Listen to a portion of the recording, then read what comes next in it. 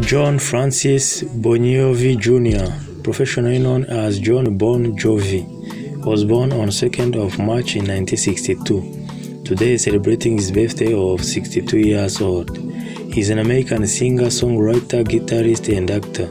He is known as the founder of frontman of the rock band Bon Jovi, which was formed in 1985.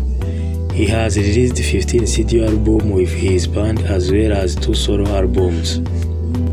In the 1990s, Bon Jovi started an acting career starring in films Moonlight and Valentino, The Leading Man, Little City, Home Ground, Pay It Forward, Under 5, 7 1 and Cry Wolf, and appearing on television shows such as Sex and the City, 30 Rock, Ally McBeal, and The West Wing. Bon Jovi was inducted into Songwriter Hall of Fame in 2009. In 2012, he ranked the number 50 on the list of Billboard magazine's Power 100, a rank of the most powerful and influential people in the music business.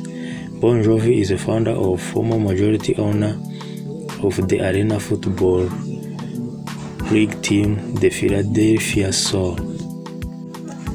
Bon Jovi began playing music in 1974 at the age of 13 when he formed his first band Les and took part in talent contests at his school at 16 years he formed a band called Atlantic City Expressway and was joined by David Bryan who would later become a member of Bon Jovi band. In 2020 Bon Jovi released a Christmas single called John Bovi Jovi Christmas with three new holiday songs. Wishing happy birthday to Jon Bon Jovi. Thank you for watching. Have a nice day.